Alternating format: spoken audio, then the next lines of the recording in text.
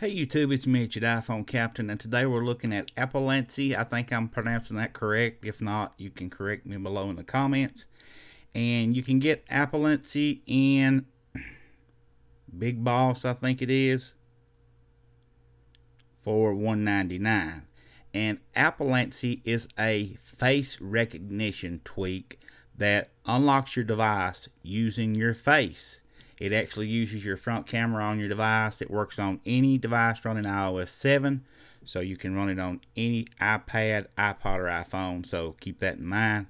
So what it does is you have to, when you first install this, you have to allow it to take several pictures of your face in different angles and such and I can take you in and show you some of that.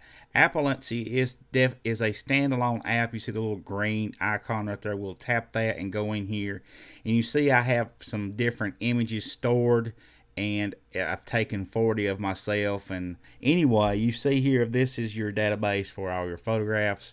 Now, when you unlock the device, you'll get a little camera icon. Well, not an icon, but like a little. See that little window showing what Appellancy sees and you saw that it unlocked my device when it recognized my face okay? Now I'm not showing you my face and you see that it's not unlocking the device either. So now when I put it on my face you see it automatically unlocks. And it works wondrously guys. I mean it's dead on dick. I mean it's definitely there.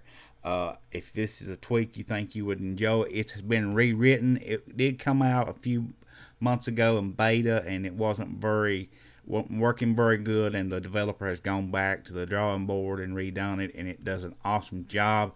Check it out. I think you'll really enjoy it. It's called Appellancy, and it's in the big boss for $1.99.